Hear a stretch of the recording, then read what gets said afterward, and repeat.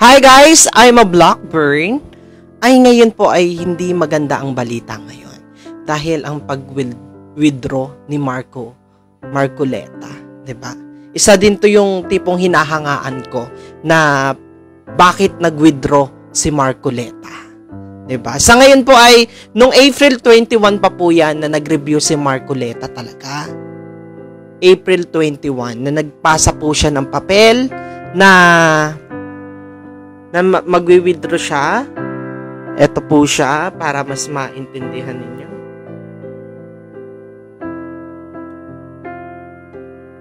Yan. Sa, sa marami pong nagtatanong kung bakit po nag-withdraw si Marcoleta. Kasi po si Marcoleta, alam ko ay may sakit si Marcoleta.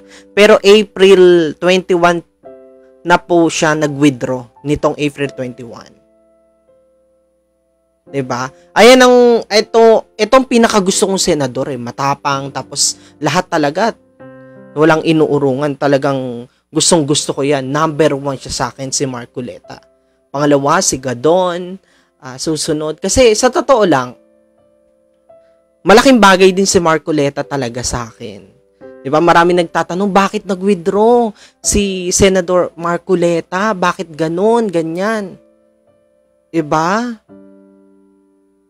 Kasi si Marcoleta, hindi ko po mai hindi ko masasagot yung tanong ninyo. 'Di ba? Kung bakit nag-withdraw si Marcoleta sa pagiging isang senador. Baka merong uh, rason kung bakit. Kasi talaga si Marcoleta, alam niyo naman, 'di ba? Tayong lahat abang tumatanda ay nagkakasakit. Alam ko si Marcoleta po ay may sakit. 'Di ba?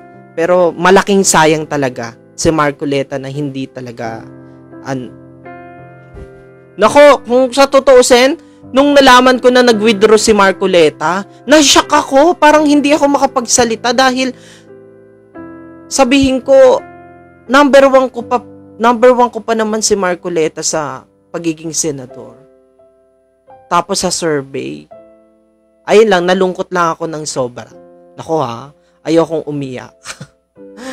Bo, pero ang sabi ni Marcoleta, nananatili pa rin ang kanyang suporta sa Uniteam para sa pagbabago. Baka kaya talagang ano, ah, uh, kaya ganun ang nangyayari talaga para sa atin, 'di ba? Merong plano ang Diyos. Bakit 'di ba? Bakit nawala si Marcoleta? Baka talagang sadya talagang ah uh, merong rason kung bakit. Malaking sayang. Kasi Mark si Marcoleta, binoto na siya ng tao eh. Ang dami niyang, ang dami ng taong bumoto sa kanya. Sa totoo lang, nagulat ako, bakit, Marcoleta, bakit po kayo nag-withdraw? Ano po bang dahilan?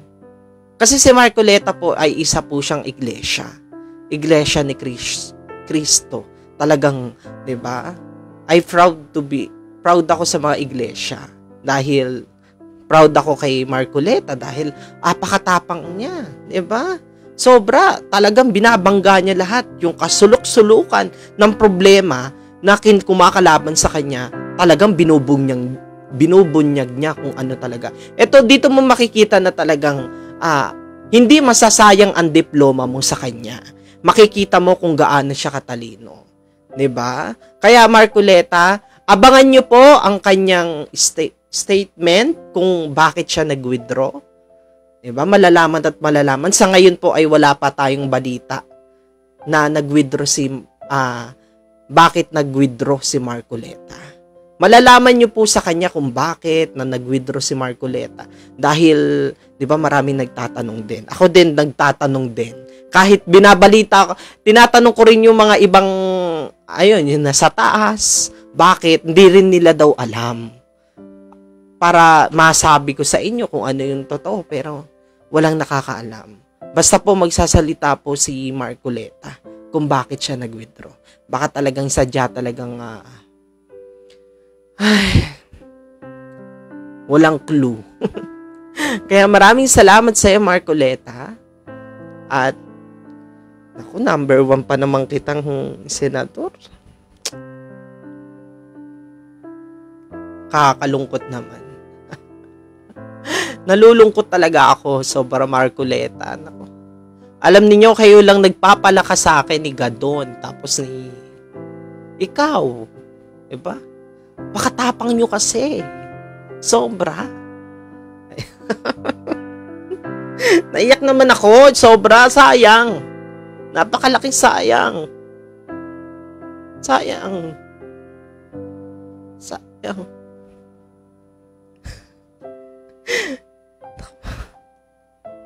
unity team, unity team. Pero sabi naman niya, tuloy-tuloy pa rin ang kanyang suporta sa unity team. Talagang sadya talagang ganun ang takbo ng uh, politics or importante talaga tatandaan natin yung health, yung sarili natin.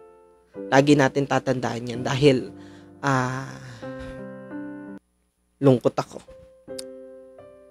Wala pa pong sinasabi si Marcoleta bakit po siya nag-withdraw ha?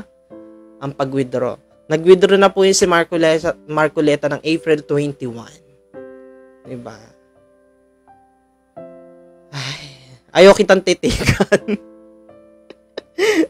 ayaw talaga kitang titigan dahil sayang boto ko. Gusto ko itang mapasok sa senador. Sabi ko nga, 'di ba? Ang pinangako ko sa sarili ko, pipiliin ko yung mga matatapang na senador. Ikaw, si Roque, si Gadon. 'Di ba?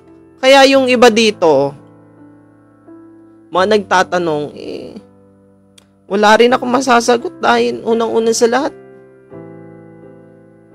Nag-withdraw na po si ano si Marcoleta. Pinakita ko po yung kanyang pag-withdraw sa Comelec. Ito po. April 21. Ayan po. Ang pag-withdraw ni Marcoleta. Ayan po yan. At wag na po kayong magtaka dahil hindi rin po natin masasabi kung bakit po nag-withdraw si Marcoleta dahil ako rin po ay nagtataka. Pero magsasabi naman po si Marcoleta sa inyo kung bakit siya nag-withdraw. Baka talagang sadya talagang ah, kailangan na mag-withdraw. Markuleta? Hindi ko alam masasabi ko ngayon. Diyos ko, nung nalaman ko nag-withdraw ka, Markuleta, kung uh, ang dibdib ko, sobrang lungkot ko. Alam mo ba yun? Parang merong nawala sa akin na, ano, yung importante. Dahil, nung sa, nung nasa giginto ako eh, nag-usap pa kami ni Marcoleta eh. Sabihin ko, ikaw yung number one kong senador ah. Tapos sabi, tapos sinahanap ko si Gadon. Sabi, nasan si Gadon? Sabi niya, nauna, nauna na sa may kawayan. Tapos sabi niya, sabi niya, sabi pa sa akin ni Marcoleta, hindi ka ba susunod? Sabi sa akin ni Marcoleta.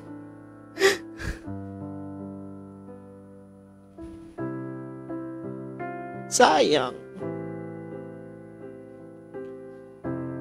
Laki ng sayang. Sobra. Malaki sayang.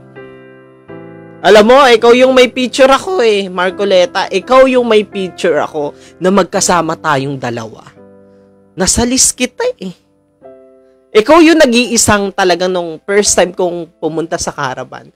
Talagang ikaw ang nag-iisang may picture talaga ako sa mga senador. Talagang nakatitig ka pa nga sa akin yun eh.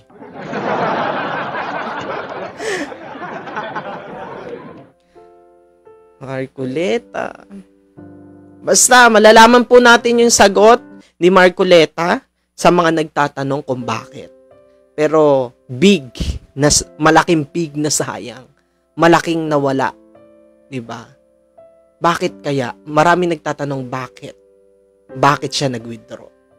malalaman nyo po sa kanya kung bakit siya nag-withdraw. Dahil lahat po ay walang nakakaalam kung bakit siya nag-withdraw. Ma- makakapagsabi lang po yan si Marcoleta sa inyong harapan. Dahil unang-una sa lahat, uh, ipapaliwanag sa inyo niya kung bakit. Dahil talagang sadya talagang alam niyo naman ho yung nangyayari ngayon. Kung bakit. Diba? Baka may dahilan Ayun ang sinasabi ng iba, kaya may dahilan. Pero lagi natin tatandaan, Marcoleta, ikaw yung number one pa rin sa akin. Pangalawa, si Gadon, si Roque, dahil unang-una sa lahat, binuksan mo ang isip ng tao na kailangan dapat maging matapang sa mga taong may hirap at ibigay sa mga may hirap ang nararapat para sa kanila, hindi para sa mga mayayaman lang ang mga posisyon na ninanais ng iba. Kaya maraming salamat sa iyo, Marcoleta, na ma- mamimiss kita sa mga... Ay, paano to kapag pupunta ako ng caravan tapos wala ka? Sayang, kasama pa naman siya binoto ko sa uh, Dubai. Yes, sayang talaga but it's sure sa cabinet niyang kaagad kasi in case din manalo si Bongbong Marcos. Mm-mm. God bless. Guys, maraming salamat sa inyo kaya alam niyo na ang uh, bakit nag-withdraw si Marcoleta dahil wala pa pong nakakaalam. Magsasalita po siya kung bakit sa inyong harapan. Kaya malungkot ngayon ang ano, 'di ba? Malungkot ang pangyayari ngayon. De tuwan-tuwa na naman po ang kabila, tuwan-tuwa na naman po. 'Di ba? Tuwan-tuwa na naman po yung kabila dahil meron pong isang nag-withdraw. Ayan po yung gustong-gusto nila. Yung kabila po, yung merong talagang nagwi-withdraw. Kaya abangan natin yan. Pero hindi pa, tapo, hindi pa po tapos ang laban. Basta ibigay po natin ang suporta natin sa uh, Unity kay Gadon, Roque, at sa lahat, si Robin Padilla, ipasok na ho natin. At si, uh, basta sa Unity Team, at huwag niyo pong kakalimutan ang presidente na iboboto natin, si Bongbong Marcos at si Sara Duterte. Kaya maraming salamat sa inyong pakikinig. Mabuhay kayo. Habang nabubuhay tayo dito sa mundo ay may rason. At sa lahat ng mga nangyayari sa buhay natin, ang Panginoon lang ang nakakapagsabi kung ano ang dahilan. Maraming salamat po.